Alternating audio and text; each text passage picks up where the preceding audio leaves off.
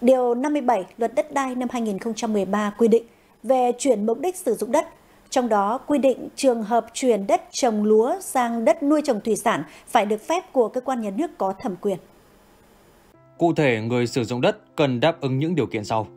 Phù hợp với quy hoạch, kế hoạch sử dụng đất đã được công bố của chính quyền địa phương. Nộp đơn đăng ký chuyển mục đích sử dụng đất và được phê duyệt bởi cơ quan quản lý đất đai có thẩm quyền.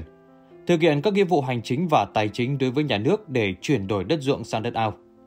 Theo Điều 69, Nghị định 43-2014 NDCP, quy định về trình tự, thủ tục cho phép chuyển mục đích sử dụng đất như sau. Người sử dụng đất nộp đơn xin phép chuyển mục đích sử dụng đất kèm theo giấy chứng nhận đến cơ quan tài nguyên và môi trường. Cơ quan tài nguyên và môi trường có trách nhiệm thẩm tra hồ sơ, xác minh thực địa, thẩm định nhu cầu chuyển mục đích sử dụng đất, hướng dẫn người sử dụng đất thực hiện nghĩa vụ tài chính theo quy định của pháp luật. Trình Ủy ban nhân dân cấp có thẩm quyền quyết định cho phép chuyển mục đích sử dụng đất, chỉ đạo cập nhật, chỉnh lý cơ sở dữ liệu đất đai, hồ sơ địa chính. Người sử dụng đất thực hiện nghĩa vụ tài chính theo quy định.